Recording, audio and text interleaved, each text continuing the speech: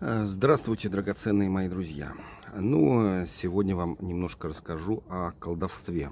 Как, э, значит, раскатывать колдунов по дороге. Ну, друзья мои, дело опасное на самом деле. Так что, занимаясь этим, вы берете на себя кармическую ответственность. Потому что, если вы это делаете, эм, ну, тем людям, которые вы этого не заслужили, то есть ваши вселенские весы настроены так, что э, вы ну, делаете э, кому-то плохое, потому что вы его не любите, да, а по мнению Вселенной, ну, это несправедливо. То есть вы действуете э, из корыстных эгоистических побуждений то, соответственно, будет кармическая э, отбратка. Рано или поздно вы за то, что желали зла кому-то, вы поплатитесь. Поэтому все это колдовство всегда надо делать в нейтральном состоянии. Вы не должны испытывать ненависти к этому человеку, э, против которого вы применяете колдовство. И, естественно, это должно быть в идеале справедливо. То есть, если на вас кто-то нападает, кто-то пытается колдовать, забрать ваши ресурсы, скинуть на вас что-то, вы имеете право, ну, во всяком случае, защищаться и защищаться активно. Вот эти правила надо соблюдать, а не то, что э, и если вы это делаете, вы, значит, все равно несете ответственность. Э, делать это можно по-разному, есть разные методики. Но самое эффективное, конечно, э, есть у вас колдуны. Да, вы знаете их, есть у вас их фотографии, к примеру. Или вы э, не, не знаете, или у вас фотографий нету, но вы понимаете, что кто-то колдует. В таком случае вы должны сделать ну, изображение, некий вольт это может быть кукла, а, сделанная даже ну, не так серьезно, как кукляк, а кукла там из подручных материалов, соломинок, веточек.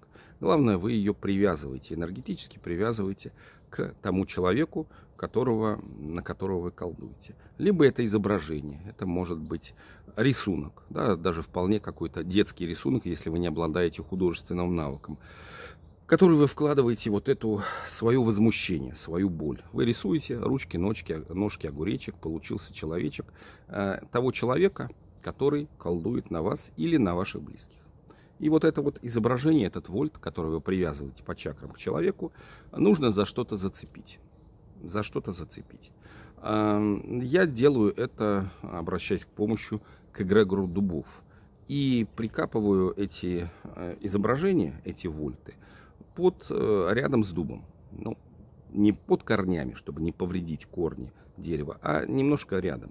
Там, где это будет для дуба эм, безопасно, чтобы он зацепил эту, эту энергию и также этих людей как бы приостановил, приработал, а эта энергия пошла на пользу и дубу, и всему, всему эгрегору. Это можно сделать и с другими деревьями, с коими вы имеете связь. То есть у вас есть а, как бы симпатия, да, вы медитируете, а, вы можете объединиться с эгрегорами этих деревьев.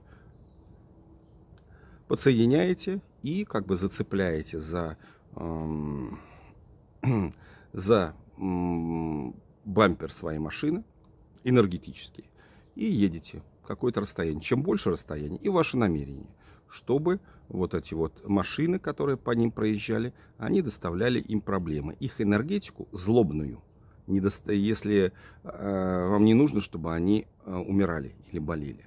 Но вот их злые намерения должны по этой дороге быть развеяны.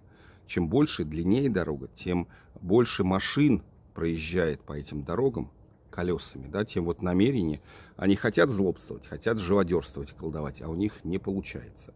Если они делают нормальные дела, просто живут житейской жизнью, да бог бы с ними, хорошо. Да, то есть ваше действие не должно быть такой чернухой откровенной, когда вы там желаете, что как бы сдохнет, сдохнет, сдохни, сдохни, сдохни. Нет, ни в коем случае. Хотя, конечно, злодеи могут применять и такие методы. Но учтите, друзья мои, конечно, все это кармически кармически э, придется рассчитаться за это. И вы потом с этими э, персонажами, может быть, встречаться будете еще десятки жизней с ними.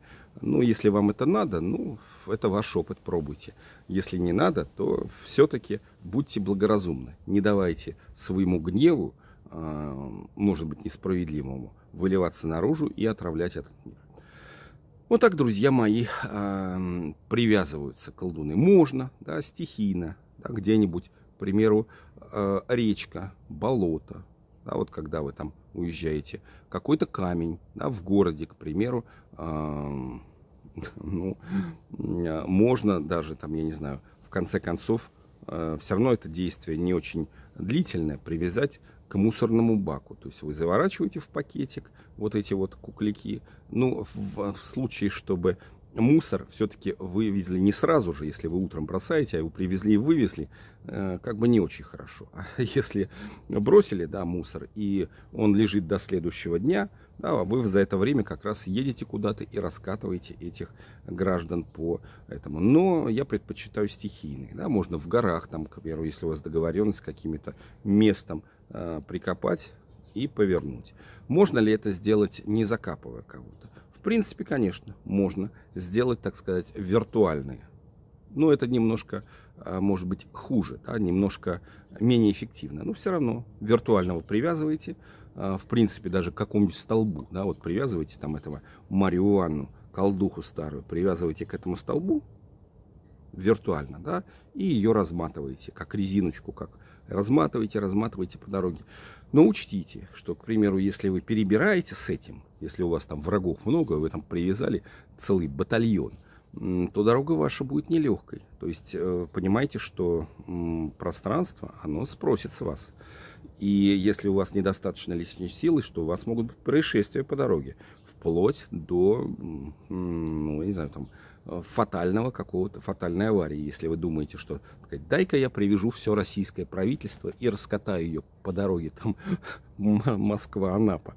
Вот как хорошо. Но в этом случае вы можете не доехать, потому что как бы сопротивление системы, то есть дорога под вашими, нога, э, под вашими колесами будет ой какой скользкой, ой какой нелегкой. Поэтому, как говорится, бери ношу по себе, чтобы не падать при ходьбе. Ну вот, друзья мои, вроде как, наверное, ответил я на какие-то вопросы. Ну, такие э, действия я не для себя, друзья мои, для себя я этого не делаю никогда. Потому что справляюсь собственными силами и, в принципе, люблю своих врагов. Я их использую немножко по-другому. Но для людей, которые страдают, а часто страдают очень серьезно от нападок колдунов, Такие э, действия я предпринимаю, я делаю. Поэтому вот э, сегодня, отправляясь в дорогу, тоже сейчас с утра проделаю такие манипуляции. Уже у меня а, готовы, готовы эти вольты. Ну и вот вместе с ними а, посмотрим, посмотрим, сумею ли я доехать. Или Вселенная остановит. Все, драгоценные мои друзья, пока, счастливо.